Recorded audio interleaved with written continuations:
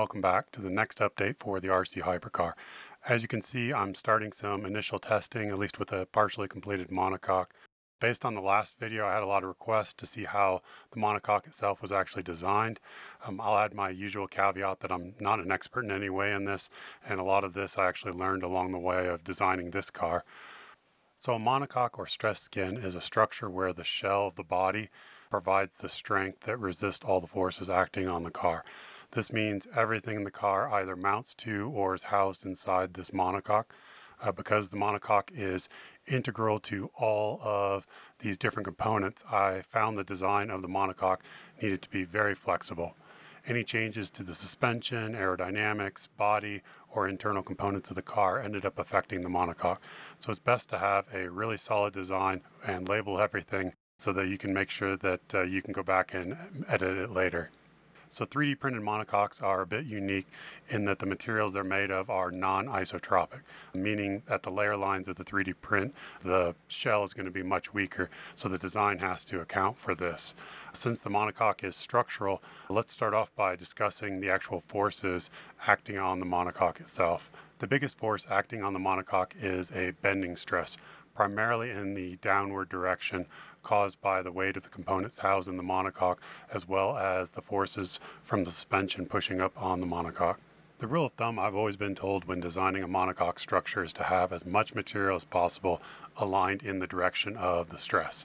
So this means in a purely bending situation, the strongest monocoque skin profile is actually a square tube. You have walls on the sides that are directly in line with the bending stress. This gives you the most strength possible just from the skin of the structure. The bottom of the monocoque will experience the most stress, particularly on a 3D printed part, because the skin will actually be pulled in tension. Um, it'll actually need to be thicker so that it doesn't separate at the layer lines.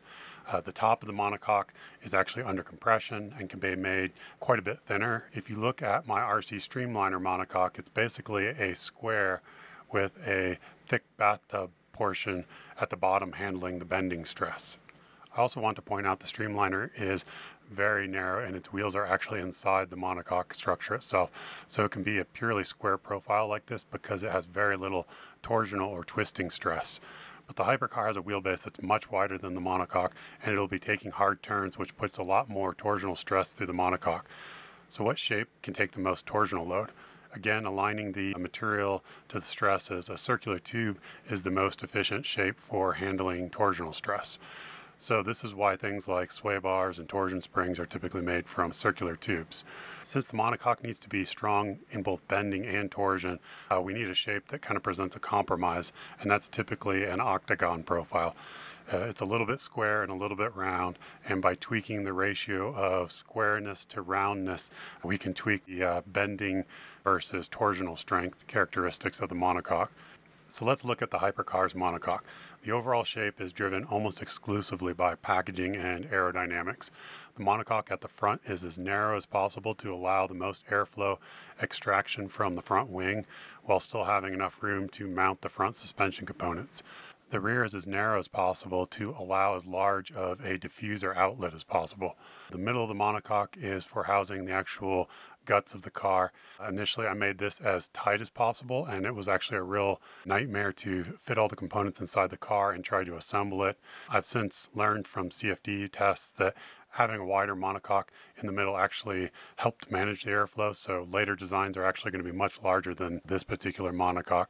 I did play a lot with rough sketches and design bodies to represent all the internal components so I could play with the packaging.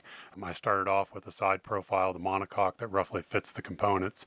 I then added ribs along the side of the profile that help define the key parts of the monocoque's profile along its length, where it needs to constrain its shape. Then I began to design the mounting points for all of the components. This took a lot of time. Again, because I was packaging things like rockers and their mounts, I had to create additional ribs to further constrain the monocoque around those components and give sufficient space so that they could move through their entire range of motion. It seems like a really daunting job, um, but it's really just a step-by-step thing where I lofted a surface over the ribs, looked at it, moved the suspension around, and tried to determine where I needed more or less control of the shape. So I want to point out a couple of unique features of the monocoque. The first is we have a longitudinal rib structure that runs the entire length of the bottom of the monocoque. This serves a few different purposes. First, it actually stiffens and strengthens the most stressed portion of the monocoque. This is very important given that it's a 3D print, and again, I'm trying to add more layers so that uh, the 3D print can't separate there.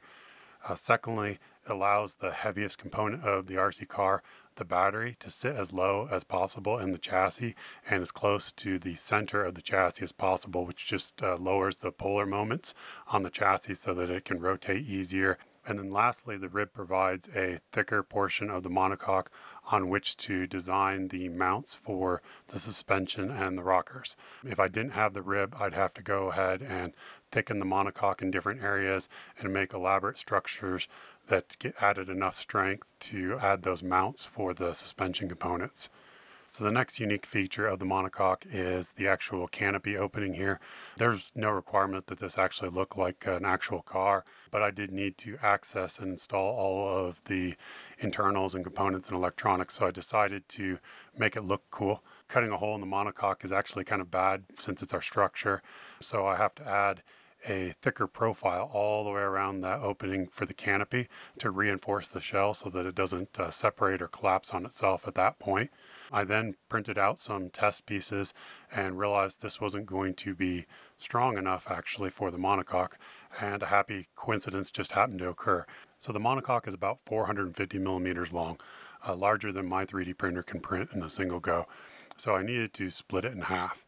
So I split it actually just behind the canopy opening and added a plug or a joiner that will be used to strengthen the glue joint between the two halves of the monocoque as I glue it together.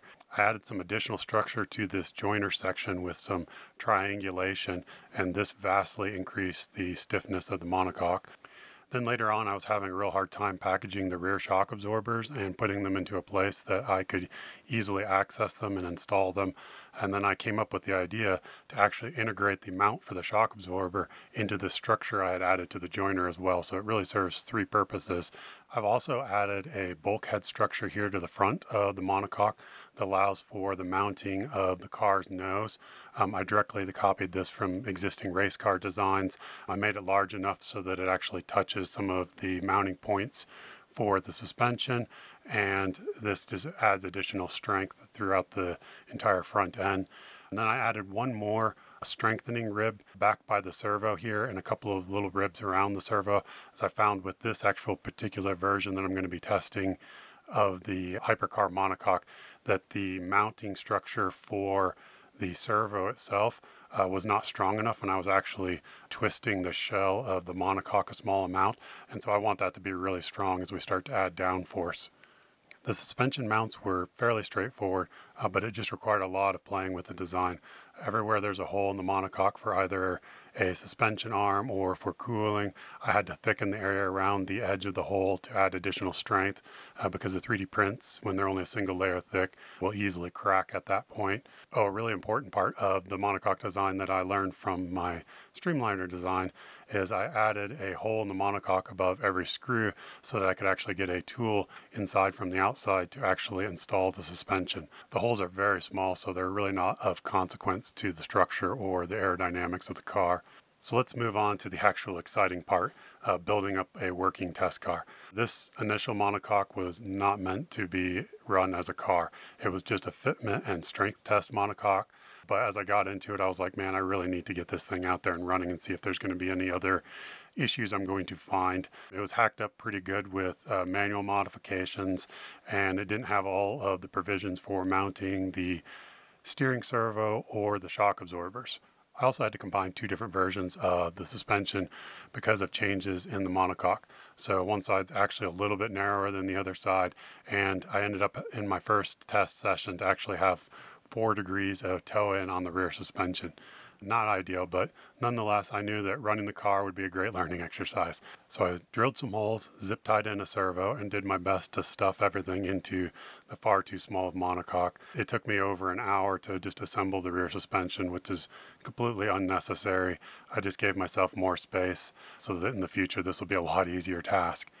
So just caveats here for the first run, I didn't even have the tires glued onto the rims yet because I wasn't sure they were going to work out. The motors are not using any kind of torque vectoring. And in fact, uh, even though I have the Hall sensors mounted, I'm not using the sensored ESCs yet. I just have a Y cable that splits the signal between the two ESCs, which effectively means I have no rear differential. I also have no roll springs or dampers installed. This car is entirely running on the heave springs, which are between the rockers and the flexure joints themselves in the control arms. So the first test went really well. The motors didn't overheat at all, which was something I was very concerned about and something that happens a lot in my Streamliner. I did choose a slightly lower KV motor for this, and I'm only running this at 3S. The steering was excellent, and actually, I had a lot more steering range than I thought I would have. The handling was difficult given the lack of differential and dampening. The power is just excessive. I can barely use 20% throttle. I'm spinning the tires all the time. Uh, the car only weighs uh, one kilogram with everything in it, so it's pretty light and twitchy and really spun very easily as all the mass is so tight to the center of the car. So things were actually going so well that I decided to test the flexure joint strength. And in the parking lot, uh, where I was testing, there was a bicycle jump, and I took that car off the jump uh, half a dozen times. The monocoque held up great, no issues there at all. But on the last jump, I caught a wheel and did a cartwheel and ended up breaking one of the rear flexure joints. It was really because the car had no bump stops and there was no shock absorbers installed, which just allowed the wheel to bend at like a 90 degree angle to the entire car and snap the flexure joint. So I read up a bit more on flexure design anyways and I actually made the flexure joints thinner and wider, which should help make them stronger and more flexible. I then added a little bit of some bump stops on the rockers themselves and the suspension so that they can't overextend. And then the coup de grace was that I printed them out of carbon fiber reinforced polycarbonate. Testing these in my hands, I'm pretty confident other parts of the car will fail before the control arms do. I took the car back out for a second test session and the car was really much better handling with the new suspension and I fixed the rear toe issues as well when I redesigned and reprinted the suspension. It does spin really well uh, with all of its mass at the center of the car. Uh, I ran the car into some curbs on accident and even flipped it once and nothing broke. It does need torque vectoring very badly, but the only issue I found was that the parking lot I was using had some tiny magnetic stones that would get pulled into the motors and lock the entire motor up. So I need to come back and design some sort of guard that still allows for airflow around the motor, but blocks some of these little stones from being able to come in as easily. I did learn there's a couple of areas with the monocoque I do want to just strengthen. It's probably complete overkill.